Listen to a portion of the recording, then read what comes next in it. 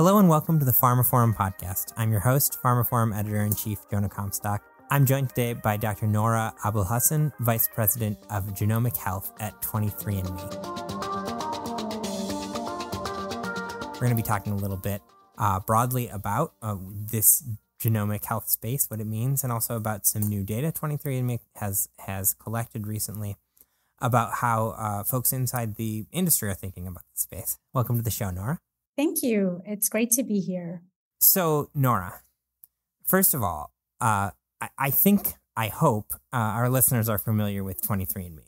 You guys were sort of the first vanguard of, of direct to consumer genomic testing, um, at least for health. I, I, know may have been slightly predated by one of the ancestry services, but um, you know, huge leaders in that space, and in that um, consumer oriented omics space and also in in generating this genetic data for for research purposes. How does your role in your business unit fit into everything that 23andme does now in 2023 yeah I, I do think many people are familiar with at least some aspects of 23andme um, and you know i always like to say that 23andme put genetics on the map really for people uh, in in a way that it just hadn't been recognized as being so powerful before. Um, but the company's also changed over time, and that's how I fit into the picture. The um, 23andMe, you know, has been around and has been offering genetic information to consumers uh, for many years now, and many people entered this experience for reasons like to learn about their ancestry, um, and, and other things like traits. And more and more, as the field of genetics and genomics was evolving, there was a recognition that genetic information can give us a very deep understanding of our health and our potential risk for diseases. And so that started to shape the way people were interacting with their genetic information uh, in a very different way. And so over time, in addition to providing this access to genetic information, 23andMe has been wanting to do more to get people to truly benefit from everything that their genome can tell them. And that means how do you get the genetic information to inform health and disease?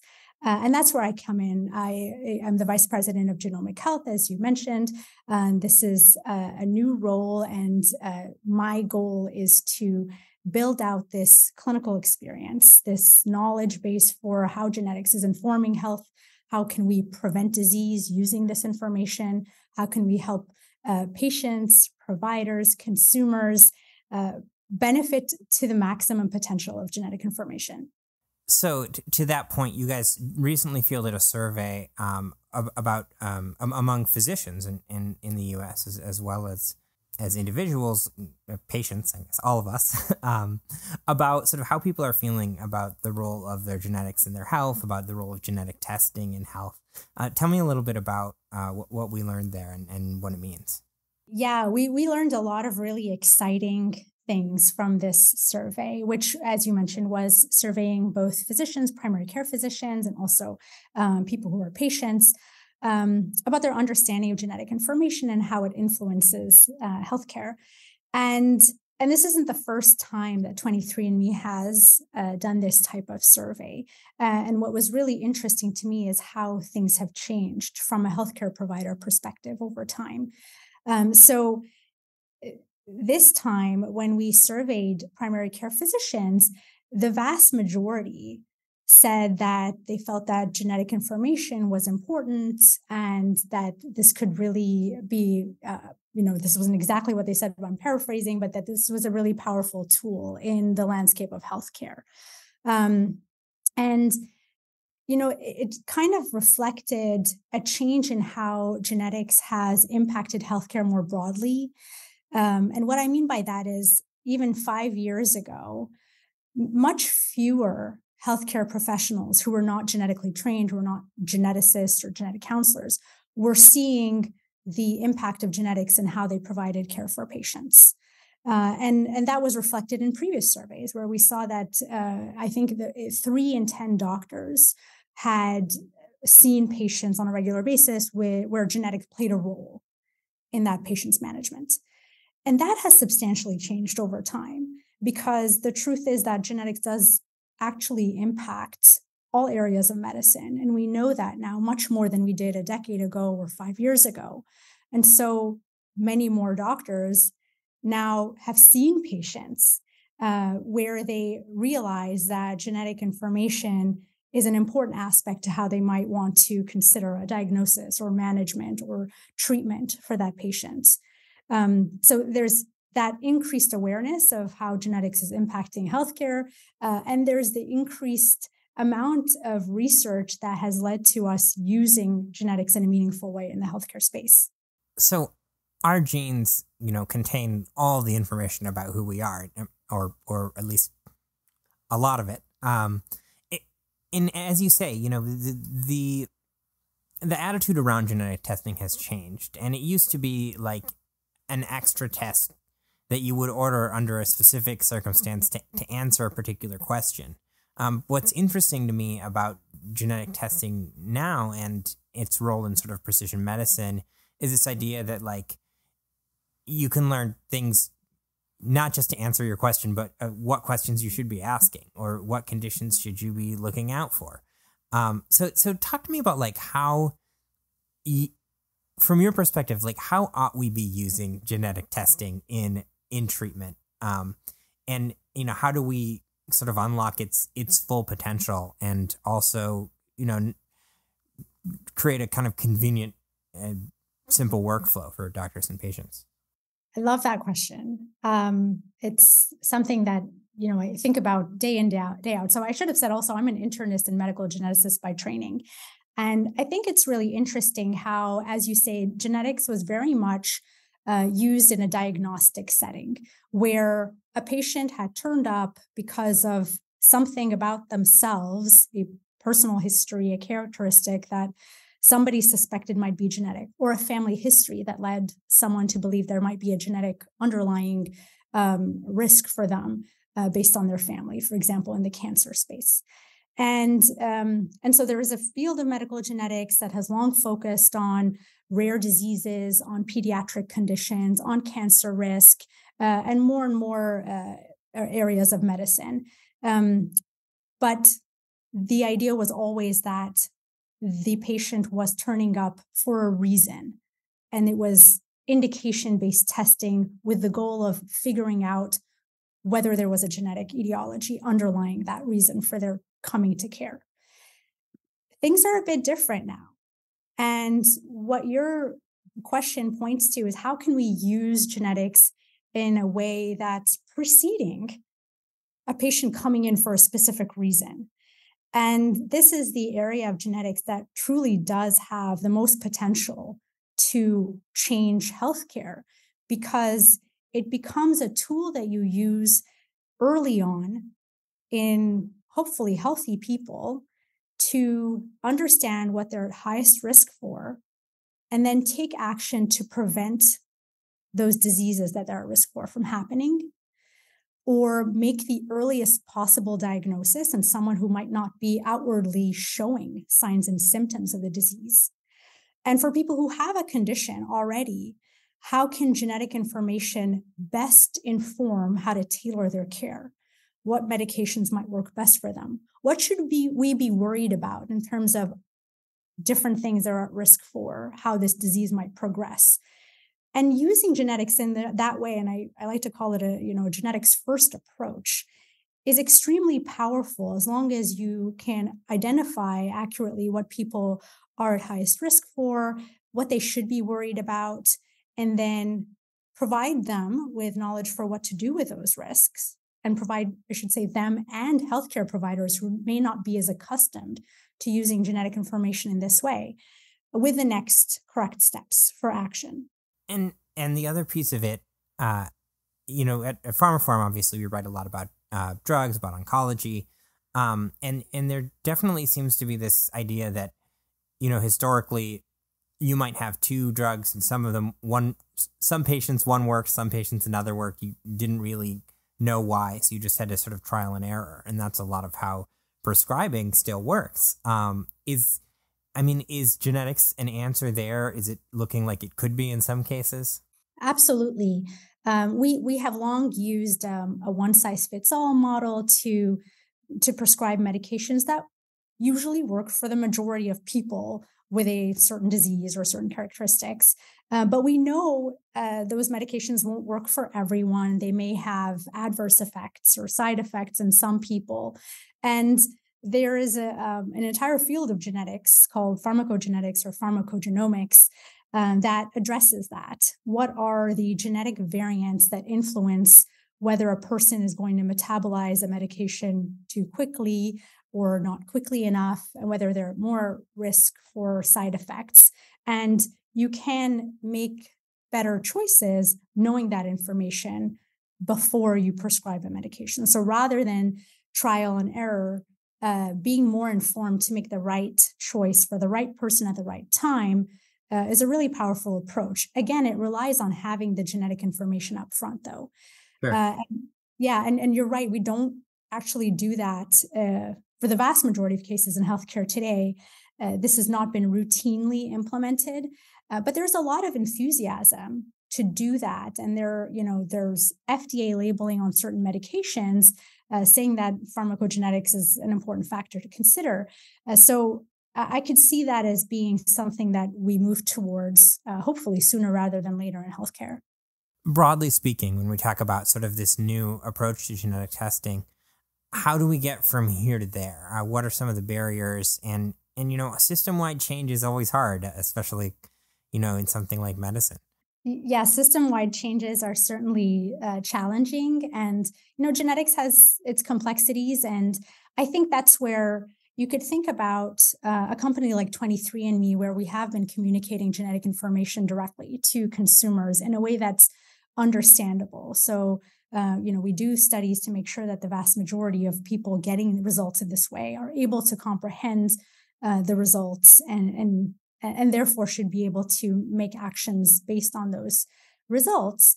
Um, so so then you have them. We have over 13 million people who have genetic information, including pharmacogenetics for certain variants that we know influence medications.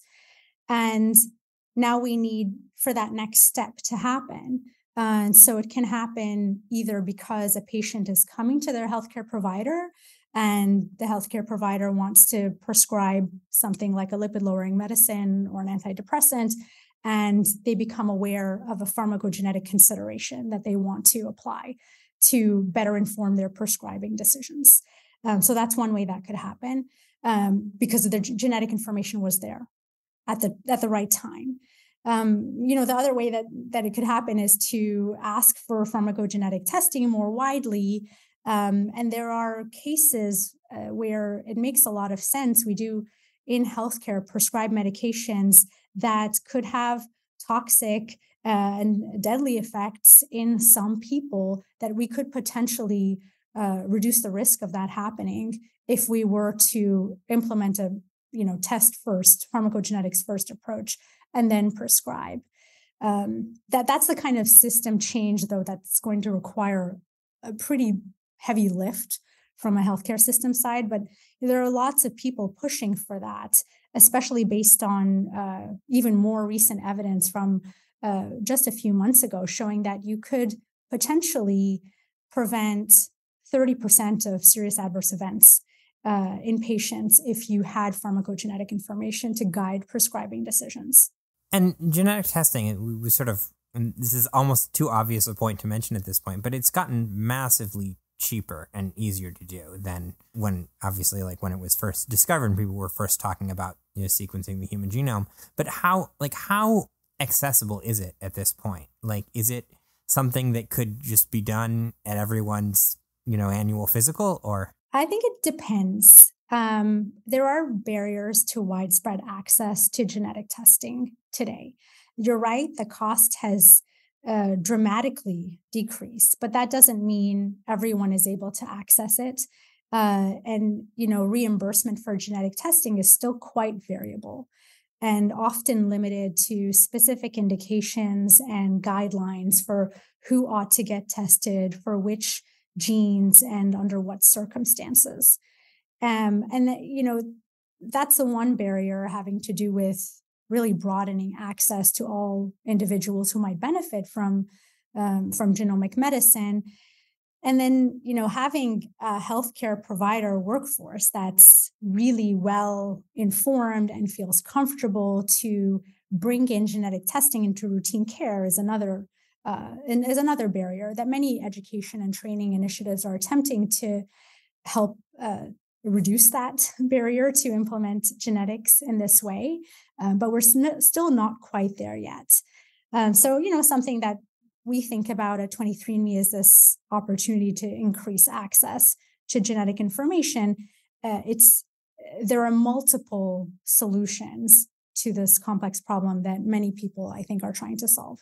Of course, the other another barrier um, is is just kind of personal comfort, discomfort, and and privacy considerations, right? Because you're obviously your genetic information is is deeply personal and uniquely identifiable. Um, I, I know early on when this started to be discussed, there was a lot of concern about like keeping this information away from the insurance companies so they couldn't, you know, deny you coverage for a pre-existing condition because it was in your genome. I mean, some of that has not really borne out, it feels like, over time. But I'm sure there are still a lot of things at 23andMe, the, the you know best practices you guys do to make sure that you're staying on the right side of those issues and everyone is is safe and, and comfortable, right? Yeah, absolutely. I mean, the privacy aspect is a really important one. We take that very seriously at 23andMe, recognizing that our customers are trusting um, the company to take appropriate actions around privacy and ensure that. So this is something that we absolutely take very seriously um, and make sure that uh, genetic information is only used in, in very appropriate ways um, in the company. And you know, to your to your other point about how can could this potentially be used um, from from a standpoint to discriminate against people who are seeking out insurance, for example, uh, there are federal laws in place to prevent uh, insurance discrimination for health insurance uh, for people who have undergone genetic testing and find out they have a genetic risk for something. Uh, there is something called GINA that prevents uh, health insurers from discriminating against people using that information. Good. It's good to hear that we got that one right. someone, someone took the steps. Yeah, absolutely. Uh, you know, I will say that uh, GINA covers health insurance, but uh, people need to consider other things like life insurance and disability that may not be covered under that federal law. Um, but employment and health insurance are things that are covered. So, what haven't we discussed yet that you think is is important or interesting um, about the the work that you do, uh, especially for a pharma audience? Uh, for yeah, from a pharma audience, I love the pharmacogenetics aspect of things. Uh, I think one of the things that uh, I'd love to share is uh, our recent efforts in thinking about how do you scale the use of genetic information in healthcare. Um, and it, about a year and a half ago now, 23andMe uh, acquired a telemedicine company called Lemonaid uh, to try to really make an impact in this space. Uh, so we now have uh, colleagues who are clinicians uh, working in this telemedicine platform that we can collaborate with to allow access to people who with genetic information to seek guidance around their reports. Um, so that's something that we're really excited about and are continuing to build out, uh, such that for example, if you were to be a 23andMe customer and find out that you had a variant in BRCA1 or BRCA2, the BRCA genes that are putting you at higher risk for cancers, and you're interested in speaking to a genetically informed healthcare provider about those risks, that previously could have been a barrier to having the next steps for guidance and, and consulting with someone who is well informed in the genetic space on what to do next. Um, so now our customers do have an ability to uh, seek out that kind of genetics informed care through this platform. Yeah, that's that's super important, um, definitely, and, and especially like given the unique position that you're in, having all these direct relationships with consumers who have used 23andMe to, to get information about their genome to now be able to say, like, here's a resource that you can talk this through if you find this out, right? Yeah, exactly. And I think that's something that uh, for a long time ha- has been, you know, a top of mind for the company because it's hard for people who get genetic test results in a direct to consumer way to then find healthcare providers who are knowledgeable enough and willing to address those results in healthcare in traditional healthcare and so it's you know one way to provide a path for a next step for people to go and get some guidance uh, recognizing that, you know, as we talked about before, there's a more systemic need for increasing how we use genetic testing appropriately in clinical practice. Uh, but this is one way that I feel like I'm really excited that we're making a difference um, through this platform and through our education initiatives more broadly, where we can offer uh, information for healthcare providers outside of our ecosystem to learn more about genetic testing, and genetic test results, and how to use those. So, you know, we talked a little bit about kind of the what what can be sort of what needs to be done and, and what can be done to kind of get more genetic testing more more freely available. But maybe we can go back and talk a little bit about some of the kind of benefits here uh, in terms of like it's is the vision here that folks are going to find out about you know conditions they never knew they had earlier and and be able to you know seek earlier treatment and, and potentially like more effective treatment for conditions? Well, maybe I can give an example. And I think this is I, think this is an important topic that we can spend a couple minutes on because you know, when you think about genetics, I gave the example of BRCA1 and 2, and those are really impactful genes, and we know they're linked to different types of cancer risks. Uh, and, and people, uh, for the most part, if, if they have those variants in those genes, there are next steps for for them to reduce their risks um, but but that's for like a, a, very specific type of cancer syndrome. Now in the last decade we have uncovered ways to understand genetic risks for many common and serious health conditions um, in, including things like heart disease and diabetes uh, other types of cancers. And every week or so, there's more data informing us on how you can actually combine someone's genetic risk information from across their genome to tell a person where do they fall on that risk spectrum? Are they at the you know do, do they have a high likelihood of disease in comparison with the population for that particular condition? Or is it not something they need to be as worried about compared to other conditions they might be at risk for?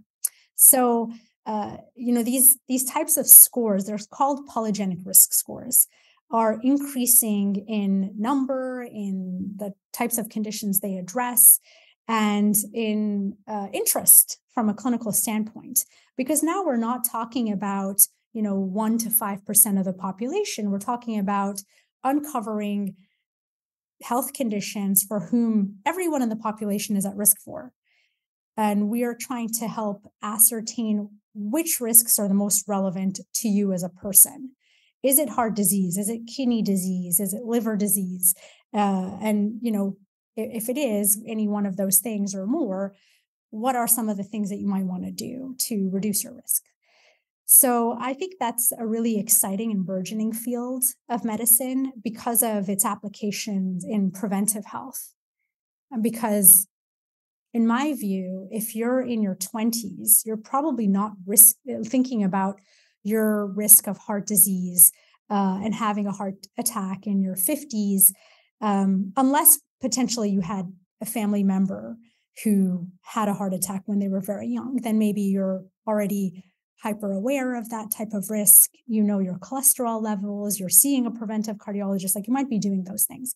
But typically, young, healthy people don't care as much about what might happen to them in the future because we don't know and you know when you think about it a lot of things can happen to you in the future so you might as well live your life i guess sure but if i tell you that based on your unique genetic composition uh, what m- might be something that you want to consider not worrying about, but thinking about more than, you know, the vast array of things that may or may not ever impact you in your lifetime. That's really powerful information. So if I tell a healthy 20 year old, just for the sake of having an age there, um, that their risk for heart disease is much higher than the general population. Uh, we know now from our experience at 23andMe, but also from other studies, that that is a powerful motivator for people to understand specifically that they're at risk for something based on their genetics. They are far more likely to make lifestyle changes that are going to reduce their risk. Uh, what I'd like to see more of is this going to benefit uh, people in a way uh, that they take more clinical actions around their risk. And, you know, it might be that a physician sees a borderline high cholesterol level in a patient and thinks it's okay to wait because that's reasonable to do. Um, so wait and see is diet going to help? Is lifestyle modification going to help uh, for a few years? But if that same physician and their patient are aware of a significantly increased likelihood of heart disease in that patient, we know now that they're more likely to initiate a lipid lowering therapy or increase the dose of a medication and really just be more careful in how they are looking at that specific patient at that time to make sure that they're preventing disease in the long run. And that, that's a really exciting way to think about medicine. In fact, it's the promise of personalized medicine that we have long heard of with the sequencing of the human genome and uh, and with all efforts subsequent to that. But we're not there yet. That's not how we currently apply our knowledge in this preventive health space using genetics. And to me and, and to others at 23andMe and outside of this company, that is really the full potential of the human genome. Right. But step one is to have that information. And step two is to make sure it's actually used and, and taken into account in those situations like you described. Exactly. Exactly. So you need the genetic information. You need genetically informed healthcare providers. You need people to understand what the information means to them. Um, and you need and you need access right to next steps and to to care around uh, th- those genetic risks and so on. Well, thank you so much for talking to me, Noura. This has been super interesting. Um, and I, I've been, uh, I feel like I haven't paid close enough attention to this space for too long. So it's, it's really good to hear kind of w- where you guys are and, and, how you're thinking about it. Um, any other news in terms of, of next steps for 23andMe? Um, after, you know, you've done this report, you've done this acquisition that you told me about. Um, what's on the horizon for you all? yeah, I think you can expect um, to see more more from us in terms of really enabling our customers to benefit from the human genome. So that access part, I think we've done a lot to increase access to genetic information and and to its relevance in health and disease.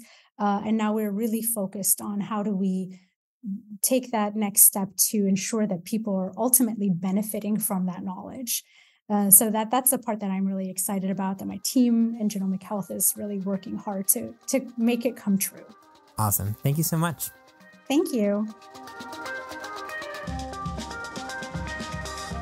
That concludes this episode of the pharmaphorum podcast. You can find more information about this episode, including a download link and information about other installments in the series at pharmaphorum.com/podcast.